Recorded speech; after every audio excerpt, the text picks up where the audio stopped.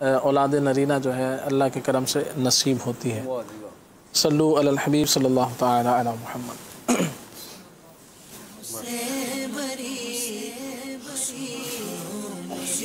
اللہ اللہ اللہ اللہ۔ شورا کا مدنی پھول ہے کہ احتیاط میں بچت ہے اور علاج میں خرچہ ہے۔ احتیاط میں راحت ہے اور علاج میں تکلیف ہے۔ تو بندہ احتیاط بھی کرے۔ آج کل کووڈ نائنٹین بھی بہت پھیل رہا ہے۔ اللہ حفاظت فرمائے۔ عاشقان رسول کی احتیاط بھی کرے اور اس کے ساتھ ساتھ دعا بھی کرے۔ ٹھیک ہے جی؟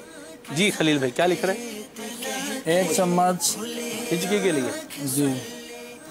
دیسی گھی لے لیں۔ ٹھیک ہے۔ یہ نہ ملے تو گھر کے اندر ہی مکھن نکال لیں۔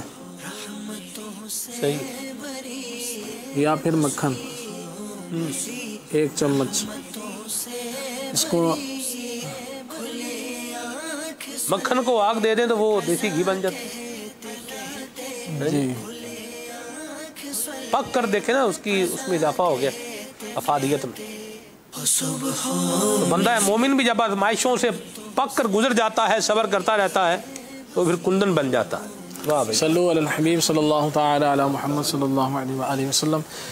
ہچکی کے لیے یہ عرض کیا ہے کہ اگر کسی کو ہچکی وغیرہ لگ جائے تو اس کے لیے ایک چمچ دیسی گھی یا پھر ایک چمچ مکھن کا اس کو آپ لے لیں۔ جی جی جی۔ ایک بھئی وائٹ بورڈ تھوڑا سا پیچھے کرائیں بھائی جان یہ تاکہ خلیل بھائی کو آسانی ہو۔ اور خلیل بھائی میرے میں خود ہی کر لیتا ہوں۔ اپنے ہی کام ہے سارے۔ بندہ خود بھی کر لے تو کوئی حرجی تھوڑی ہے۔ وائٹ بورڈ پیچھے کرتا ہوں نا ذرا آسانی ہو جائے گی۔ یہ چلیں جی اب آپ کا فریم بھی آسانی سے بن جائے گا انشاءاللہ۔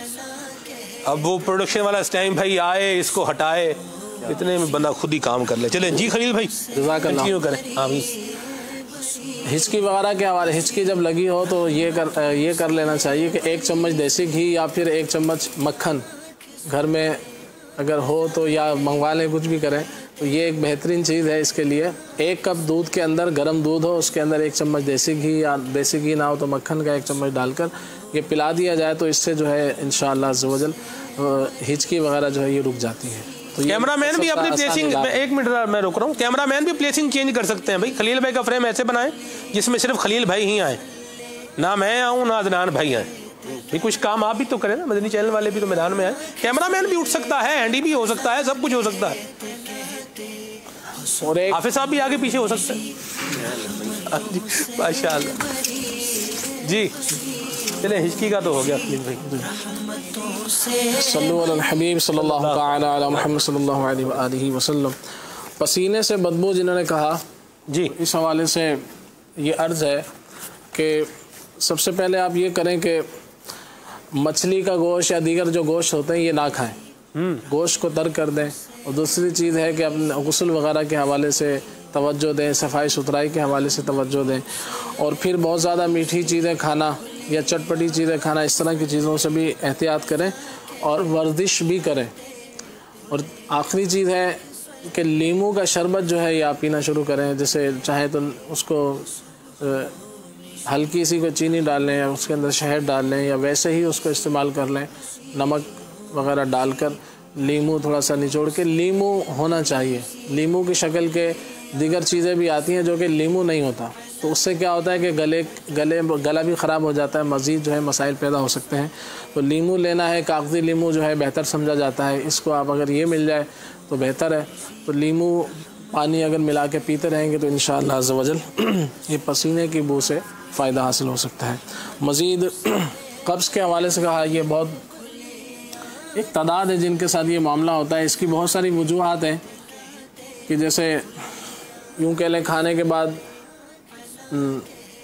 کھانے کے بعد پانی وغیرہ جو لوگ پی لیتے ہیں، اسی طرح سے چکنائی والی چیزوں کا کثرت سے استعمال اور پانی کم پینا، یہ اس کے اسباب ہیں۔ اسی طرح سے سبزی اور فروٹ کا استعمال کم کرنا، یہ بھی اس کے اسباب ہیں اور دیگر بھی اس کے اسباب ہیں۔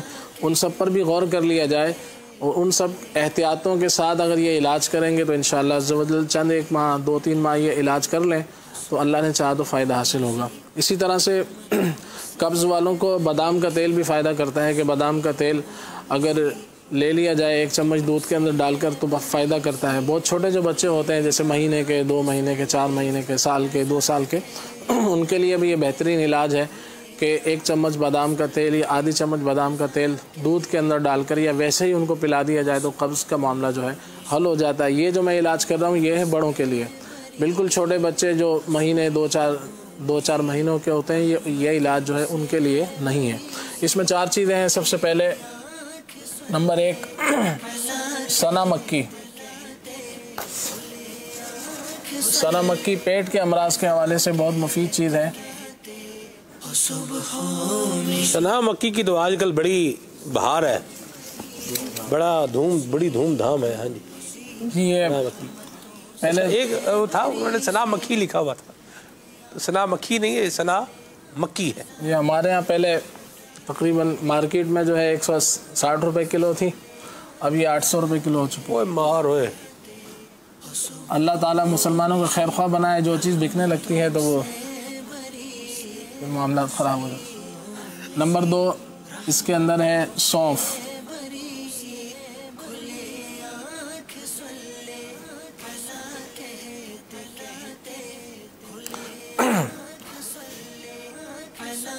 کلونجی۔ اور چوتھی چیز ہے اس کے اندر، اسپاغول کی بھوسی۔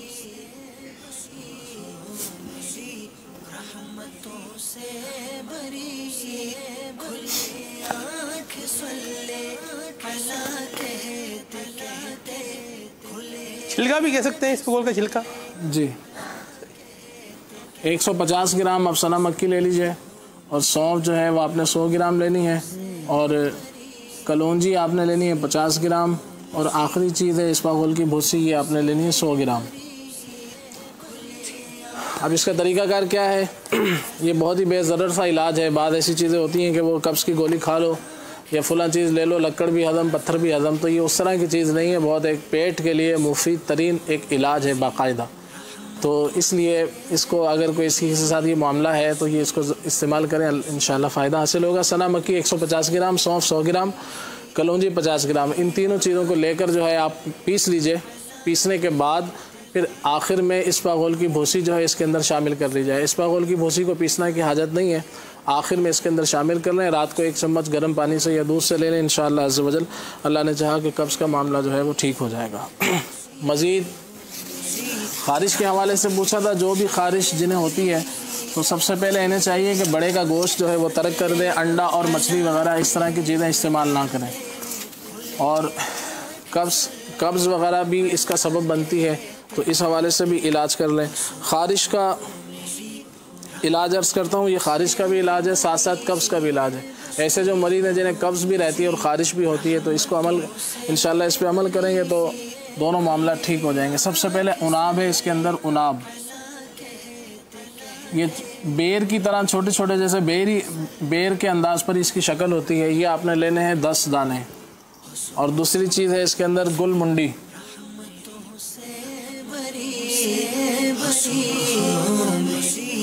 یہ آپ نے لینی ہے تقریباً بارہ گرام۔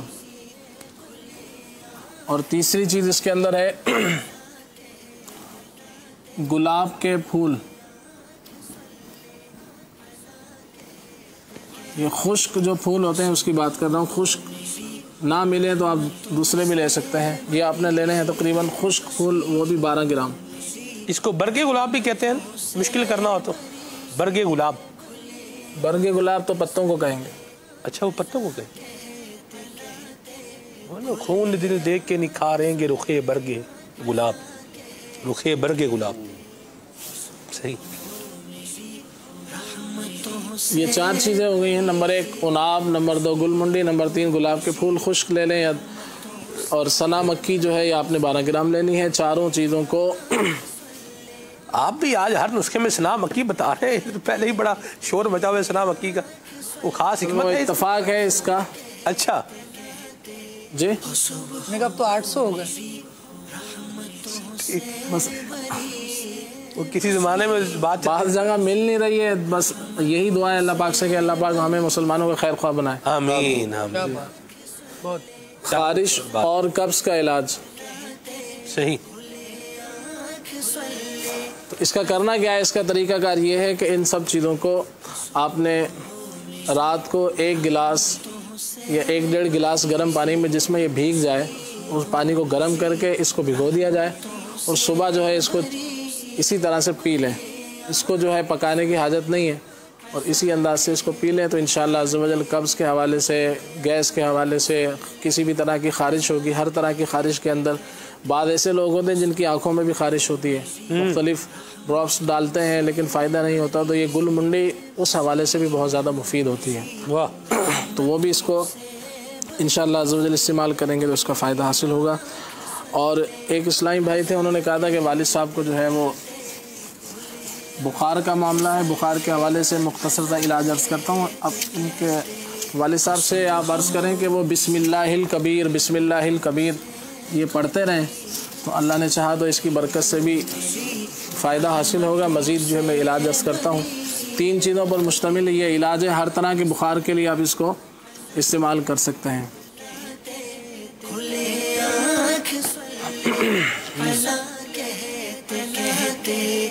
ہو صبح ہو میری رحمتوں سے بھری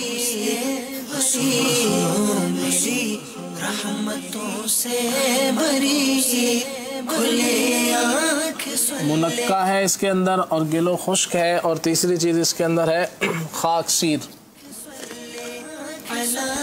یہ بڑوں کو بھی دے سکتے ہیں بچوں کو بھی دے سکتے ہیں۔ اس کا طریقہ کار یہ ہے۔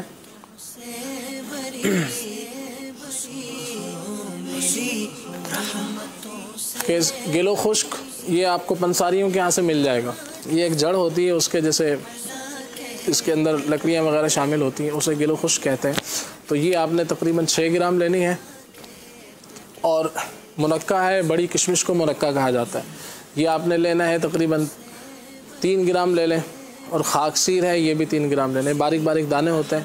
تو یہ تینوں چیزوں کو ایک گلاس پانی کے اندر اچھی طرح سے پکائیں۔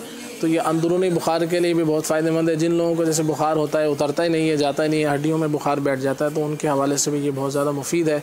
یہ بچوں کو بھی دینا ہو تو پھر جیسے دو دو چمچ کر کے دن میں چند مرتبہ دے سکتے ہیں۔ تو اللہ نے چاہا ہر قسم کے بخار کے حوالے سے اس کو مفید پائیں گے۔ اس کو پانی میں جوش کتنے پانی میں جوش دینا پڑے گا اس کو؟ ایک گلاس پانی میں تقریباً اس کو پکا لیا جائے۔ ٹھیک۔ اس کے بعد پھر چھان کر اس کو جو ہے استعمال کر لیا جائے یہ جو چیزیں ہیں اس کو پھینک دیا جائے۔ صحیح۔ تو انشاءاللہ یہ اس حوالے سے مفید رہے گا۔ باقی مزید تقریباً چیزیں ہو گئی ہیں۔ صحیح۔ اللہ پاک آسانی فرما بستر پر پیشاب تھا وہ میں بتا دیتا ہوں۔ جی۔ گھٹنوں کے درد کا بھی تھا۔ جی جی وہ بعض بچے جیسے بستر پر پیشاب وغیرہ کر دیتے ہیں سب سے پہلے ان کے پاپڑ چپس وغیرہ اس طرح کی چیزیں بند کروائی جائیں۔ تاکہ ان کے معدے کا نظام ٹھیک ہو زیادہ چائے سے بچائیں اسی طرح ٹھنڈے پانی سے بچائیں اور ان کو چاول سے بچائیں۔ تو یہ چند چیزوں کا پرہیز کریں کہ باقی میں تین چیزیں لکھ دیتا ہوں۔ یہ بڑوں کے لیے بھی مفید ہے بچوں کو بھی آپ دے سکتے ہیں۔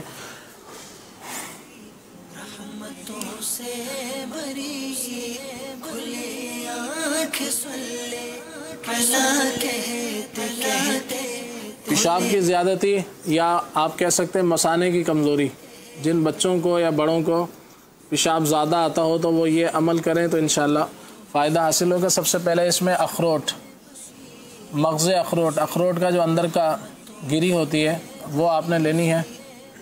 اور دوسری چیز ہے، بہت ہی مزیدار یہ انشاءاللہ بنے گا۔ اس کو بنا کے استعمال کروائیں۔ اور ویسے بھی یہ اعصاب کے لیے، پٹھوں کے لیے بھی مفید ہے۔ نمبر دو، اس کے اندر ہے کالے تل۔ کالے تل نہ ملیں تو سفید تل بھی لے سکتے ہیں۔ اور تیسری چیز، اس کے اندر ہے ناریل کا پاؤڈر۔ پسا ہوا ناریل جو ہوتا ہے، یہ آپ نے لینا ہے۔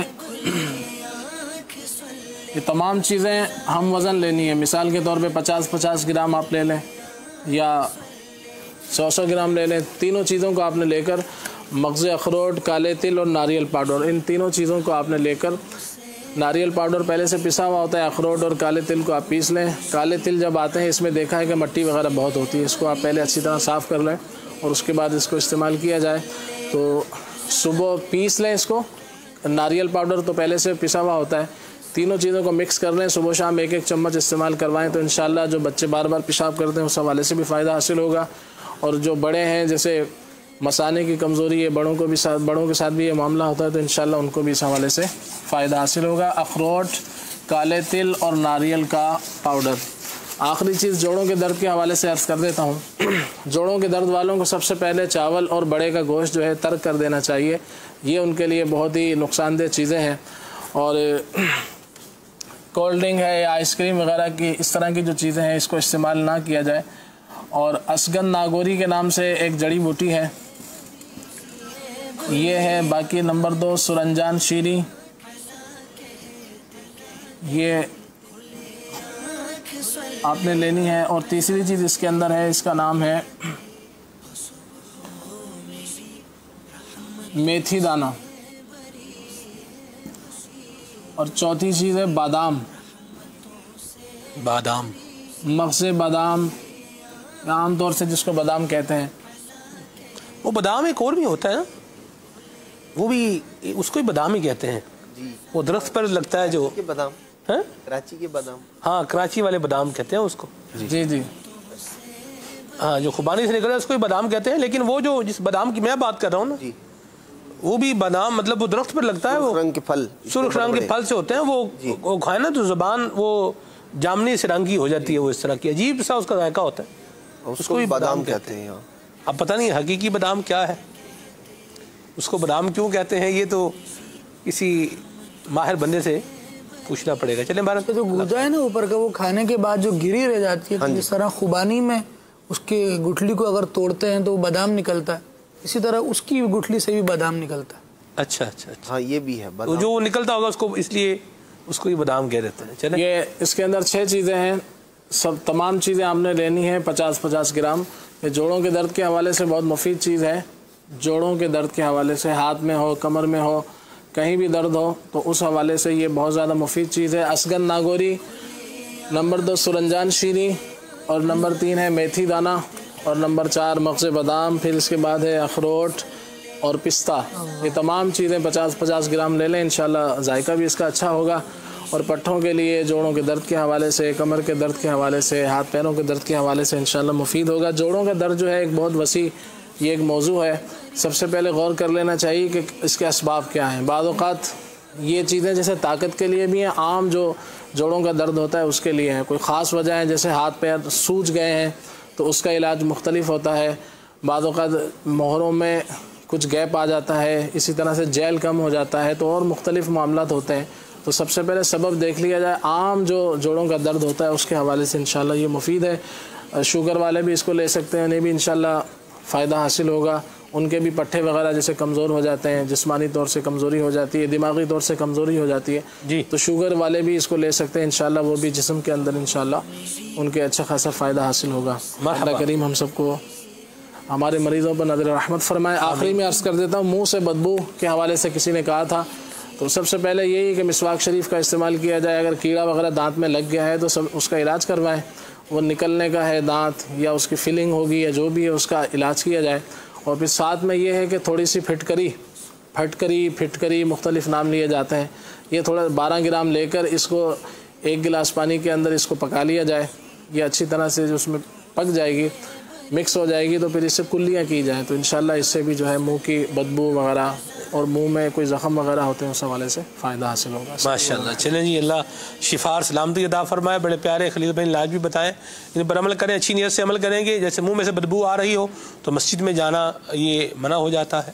اس لیے منہ صاف رکھیں گے کہ میں مسجد کی حاضری دوں، نماز پڑھوں تو انشاءاللہ اس کا اجر و ثواب ملے گا۔ تو اچھے، اچھی نیتوں کے ساتھ اگر کام کیے جائیں تو پھر ان کی افادیت میں بہرحال اضافہ ہو جاتا ہے۔ ابھی ہم آپ کو آئی ٹی کا، مجلس آئی ٹی کا ایک پرومو جو ہے وہ دکھانے جا رہے ہیں، پھر اس کے بعد مزید بات کرتے ہیں۔